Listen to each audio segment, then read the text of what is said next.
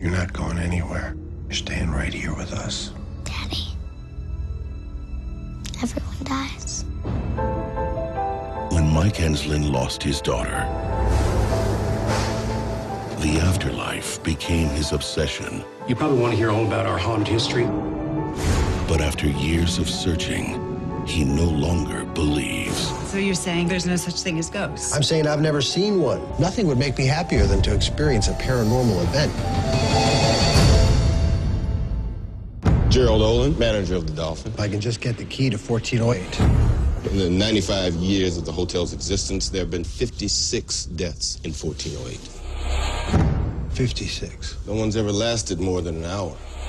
The first victims to Kevin O'Malley. Cut his own throat. Do not stay in that room.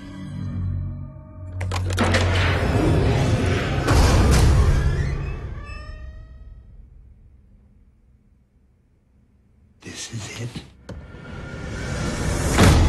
Hotel rooms are a naturally creepy place. It does have the vague air of menace.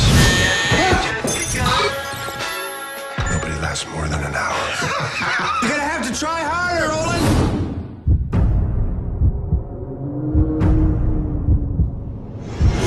It's not that what I'm seeing is not real. It just ain't as real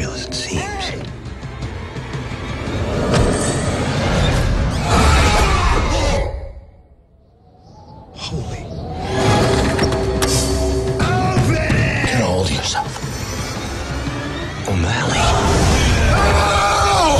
Based on a story by Stephen King. Did you call the cops? They're in 1408. The room's empty. I'm gonna die. I warned you about 1408.